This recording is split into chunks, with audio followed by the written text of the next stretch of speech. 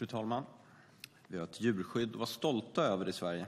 Få länder har en så stark, har en så stark lagstiftning och en så stark folklig förankring bakom ett ambitiöst djurskydd som vi har här i Sverige. Det viktigaste, som vi ser det i det svenska djurskyddet, är att det tydligt slås fast att alla djur har rätt till sitt naturliga beteende. Detta är också utgångspunkten i Sverigedemokraternas djurskyddspolitik. Att man hela tiden kan se till djurens unika egenvärde och se till så att djuren behandlas med den respekt de förtjänar. Detta är allt annat än enkelt idag, speciellt inte inom lantbruket. Vi lever som bekant i en marknadsekonomi och detta är givetvis en förutsättning för tillväxt och välstånd i vårt land. Men när det kommer till djurhänsyn så är marknadskrafterna inte alltid av godo. På grund av svårigheter att veta hur maten framställts och ofta även var den kommer ifrån är det heller inte alltid lätt för konsumenten att, ta, att göra etiska hänsynstaganden. Vi kan ta Asien som ett exempel, där djurskyddet knappt existerar i många länder och där djurhållningen närmast enbart kännetecknas av eh, produktionsmässiga hänsynstaganden, varför djurvälfärden också lämnats närmast helt åt sidan. Samtidigt är det ofta kyckling från just sådana länder som våra barn äter i skolorna, vilket naturligtvis är djupt otillfredsställande. Fru talman, vi har all anledning att känna stolthet över vår kultur och vårt sätt att värdera djur, samtidigt som vi måste vara ödmjuka inför faktumet att det finns mycket att förbättra. Man skulle således helst av allt inom animalieproduktionen vilja lägga fram massvis av förslag som, som skulle kunna förbättra djurens välmående. Men samtidigt, på grund av den konkurrenssituation som svensk animalieproduktion lever under, vore det verklighetsfrånvänt. Det svenska EU-medlemskapet har naturligtvis en stor del i detta. Idag kommer nära hälften av köttet i våra livsmedelsbutiker från utlandet. Det utarmar vår livsmedelsproduktion och vår självförsörjning samtidigt som det betyder att allt mer kött som äts i Sverige kommer från djur som lever under förhållanden som vi här i vårt land aldrig skulle kunna beteckna som värdiga. Det är ett oerhört stort problem. Exempelvis kan det nämnas att sedan det svenska inträdet i EU 95 har importen av fläskkött ökat med över 400 procent och det kommer närmast uteslutande från länder som har betydligt lägre djurskyddskrav än vad som råder i Sverige och som därmed kan producera kött till betydligt lägre kostnad, vilket skapar en orättvis konkurrenssituation för svenska producenter. Sverigedemokraterna vill arbeta för undantag inom ramen för medlemskapet i Europeiska unionen för att möjliggöra begränsningar av import på animalieprodukter som kommer från länder som har, har kraftiga konkurrensfördelar till följd av dåligt djurskydd. Särskilt angeläget är att möjliggöra begränsningar av import av kött från djur som slaktats utan bedövning.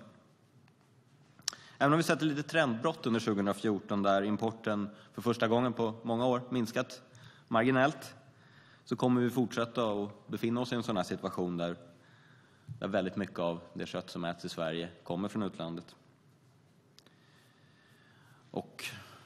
Även om vi skulle vilja förändra eh, reglerna för import och kunna begränsa vissa saker så är det ju heller inte troligt att, att det kommer att ske den närmaste tiden varför vi också vill försöka kompensera svenska producenter genom, genom, genom djurvälfärdsersättningar.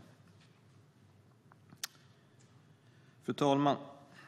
Svensk lagstiftning som rör djur är idag splittrad vad gäller frågor om djurs rättigheter.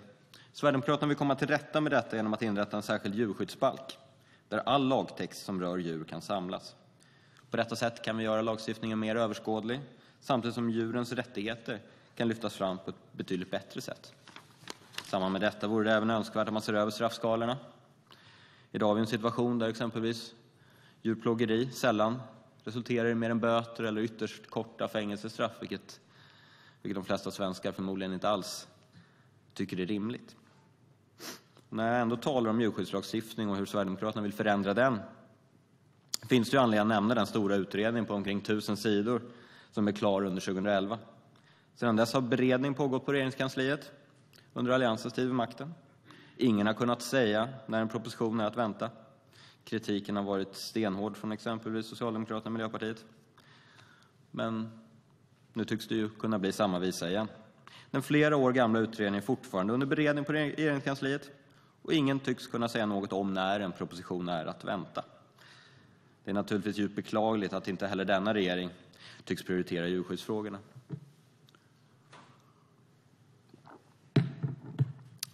Fru talman! Jag tänkte säga några ord om djur inom underhållningsbranschen. Det handlar till största del om kringresande cirkusar. En god utvärderingsgrund för djurs välmående är huruvida de får utlopp för sina naturliga behov och beteenden. Livet på en cirkus innebär för många djur inskränkningar av möjligheterna till detta. En viktig del i ett bra och trovärdigt djurskydd är att vi är mycket försiktiga med användandet av djur enbart för vårt nöjes skull. Vad gäller icke-domesticerade djur kan konstateras att deras skötsel regleras av samma föreskrifter som djur i djurparker, dock med flertalet undantag. Detta är minst sagt orimligt, då djurhållning i djurparker kan motiveras med såväl artbevarande som undervisande syfte och alltså har mer än ett rent underhållningsvärde för människor. Istället för att bevilja undantag där cirkusnäringen har svårt att möta djurhållningskraven är det vår mening att de icke-domesticerade djuren snarast bör fasas ut från våra cirkusar, vilket också går väl i linje med flera av slutsatserna i Djurskyddsutredningen. I allmänhet bör också tillsynen av djurcirkusarna skärpas. Och från Sverigedemokraternas sida skulle vi önska införa ett licenssystem så att enbart de cirkusägare som uppfyller grundläggande, grundläggande krav får hållas med djur. Vid brott mot regelverken ska sådan licens kunna dras in permanent. Dessutom bör de besiktningar som i dag sker efter beställning av cirkusägare själva kompletteras med icke föranmälda inspektioner, både vad gäller transporter och stationära förvaringsplatser. På detta sätt blir det mer angeläget för cirkusägarna att säkra en kontinuerlig god tillvaro för sina djur, även de tider då djuren inte används i föreställningar. Fru talman! Avslutningsvis vill jag säga några ord om djurskyddskontrollerna. Det är en oerhört viktig verksamhet inom djurskyddet det är positivt att ansvaret i dag ligger på länsstyrelserna. Samtidigt är det allvarligt att kontrollerna har minskat och det är uppenbart att det krävs ökade anslag till länsstyrelserna för att stärka denna mycket viktiga funktion. Det finns idag till och med intresseorganisationer i vissa branscher som genomför egna kontroller just på grund av att antalet djurskyddskontroller är alltför begränsat. Samtidigt är det otroligt viktigt att rättssäkerheten är hög. Ibland måste djur omhändertas och det är alltid en tragedi. Det finns dock ett befogat missnöje med tillvägagångssätt, vilket skapar misstro och missnöje i branschen. För att stärka förtroendet för djurskyddskontrollerna vore det därför önskvärt att fler djurskyddskontrollanter hade egen erfarenhet av djurhållning. Eh, med detta sagt vill jag yrka bifall till reservation 5 och reservation 9. Tack. Då går